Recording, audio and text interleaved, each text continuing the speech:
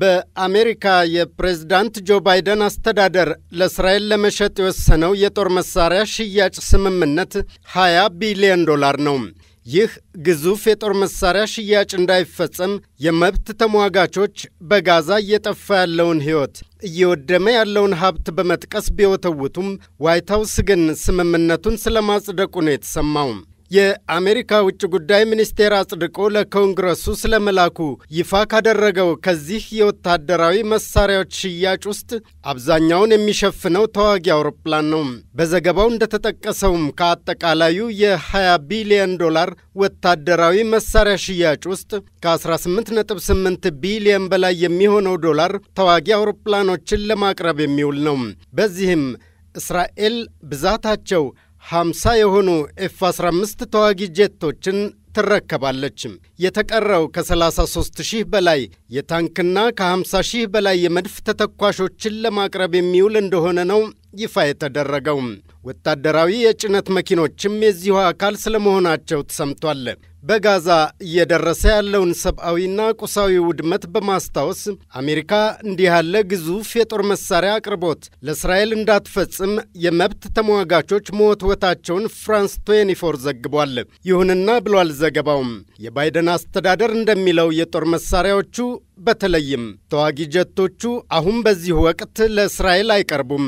የቦይንግ ኩባንያ ስሪት የሆኑትና ኤፍ 15 የሚባሉት ተዋጊ አውሮፕላኖች ለእስራኤል የሚቀርቡት ከአምስት ዓመታት በኋላ በ2029 ነው ተብሏል። የአሜሪካ ውጭ ጉዳይ ሚኒስቴር በአስተዳደሩ ጸድቆ ለኮንግረሱ ልኮታል በተባለው በዚህ የውሳኔ ሐሳብ ላይ እንደተጠቀሰው ዩናይትድ ስቴትስ የእስራኤልን ደህንነት ለማስጠበቅ ቁርጠኛ ናት ብሏል። መግለጫው በተጨማሪም እስራኤል ራሷን በብቃት የምትከላከልና ጥንካሬዋንም አስጠብቃ የምትዘልቅ ሀገር እንድትሆን ማገዝ ለዩናይትድ ስቴትስ ብሔራዊ ፍላጎትና ጥቅም እጅጉን አስፈላጊ ነው። ለእስራኤል የቀጥታ ጦር መሳሪያ ሽያጭ እንዳይፈጸም ኮንግረሱ መከልከል አሊያም ማገድ የሚችል ቢሆንም ይህን ለማስቻል ግን ሂደቱ ከባድ እንደሆነ ተጠቅሷል። በእርግጥ የዋሽንግተን አቋም በባለሥልጣናቷም ጭምር የሚኮነንበት አጋጣሚ አልጠፋም። ከእነዚህ አንዱ ደግሞ ጆሽ ፓውል ናቸው። እኒህ ከፍተኛ ሹም ሀገራቸው አሜሪካ በእስራኤል ሐማስ ጦርነት ጉዳይ የያዘችው አቋም አልዋጥ ቢላቸው ይሰሩበት ከነበረው ውጭ ጉዳይ ሚኒስቴር አምና ነበር የለቀቁት። እርሳቸው እንደሚሉት ከሆነ እስራኤል በጋዛ እየፈጸመችው ላለው አስከፊ ጥቃትና እየደረሰ ላለው ሰብአዊ ውድመት እስራኤል ለአጋሯ አሜሪካ አሳማኝ ምክንያት ማቅረብ ተስኗታል።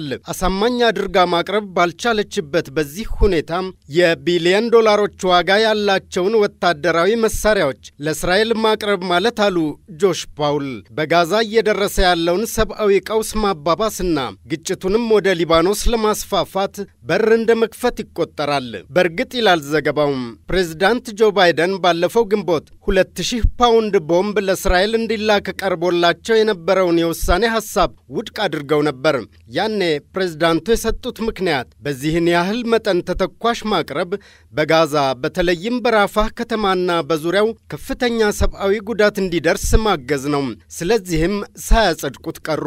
በአንጻሩ ግን እገዛችሁ ተንቀርፍፎብናል የሚል ስሞታ ከቴላቪቭ ለዋሽንግተን መሰንዘሩ ደግሞ አልቀረም። ጠቅላይ ሚኒስትር ቤንያሚን ኔታንያሁ ይህንኑ ቅሬታ በግልጽ ለፕሬዝዳንት ጆ ባይደን መንግሥት እስከ ማቅረብም ደርሰው ነበር። ይሁንና የአሜሪካ መንግሥት በሰጠው ምላሽ ሌሎች አይነት ወታደራዊ ድጋፎችን ለእስራኤል ከመስጠት እጃችን ታጥፎ አያውቅም ነው ያለው። ሐማስ ባለፈው ጥቅምት ፈጽሞ ያልተጠበቀ ከባድ ድንገተኛ ጥቃት ሰነዘረ። ያ ጥቃት የእስራኤልን ቁጣ ጫረ። የበቀል ክንዷም ሐማስን ብቻ ሳይሆን አሁን ድረስ ንጹሐን ፍልስጤማውያንን ለሞት ለጉዳትና ለስደት እየዳረገ ቀጥሏል። የተፈጠረው ቀውስ ይበልጥ እንዳይባባስና ወደ አካባቢያዊ ጦርነት እንዳያመራም አሁን ከመቼውም ጊዜ በላይ ስጋቱ አይሏል። ለዚህ ደግሞ እስራኤል የሂዝቦላህን የጦር አዛዥ ከሊባኖስ ዋና ከተማ ቤይሩት በቅርብ ርቀት አካባቢ እንዲሁም በዚያው ሰሞን የሐማሱ የፖሊት ቢሮ ዋና ጸሐፊ ኢስማኤል ሐኒየህን በተመራጩ የኢራን ፕሬዝዳንት በዓለ ሲመት በታደሙበት ዕለት ምሽት በዚያው በእንግድነት በተገኙባት ኢራን ዋና ከተማ ቴሄራን ባረፉበት መግደሏ ዋነኛው የውጥረት አባባሽ ጉዳይ ሆኗል። ይህ በእንዲህ እንዳለ ትናንት ማክሰኞ ነሐሴ ሰባት ሌሊቱን ሂዝቡላህ ከሊባኖስ ወደ እስራኤል እስራኤል ተከታታይ የሚሳኤል ጥቃቶችን እንደፈጸመም አልጀዚራ ዘግቧል። ስለደረሰው ጉዳት ግን ይህ ዜና እስከተጠናቀረበት ማለዳ ድረስ በዘገባው የተጠቀሰ ነገር የለም። ከዚህም በላይ ስጋቱን ያባባሰው ኢራን በእስራኤል ላይ ልትወስድ ትችላለች የተባለው የበቀል አጸፋ ነው። አሜሪካ፣ እንግሊዝና ጀርመን ኢራን በእስራኤል ላይ የበቀል አጸፋ ከመሰንዘር እንድትታቀብ በመወትወት ላይ ናቸው። ኢራን በበኩሏም እስራኤል ሉዓላዊ ግዛቴን ደፍራ የተከበረ እንግዳዬን ስትገድል ምን ነው ዝም አላችሁ? እንዲያ ከሆነም እኔ አጸፋ ለመመለስ መነሳቴ አይግረማችሁ ብላቸዋለች።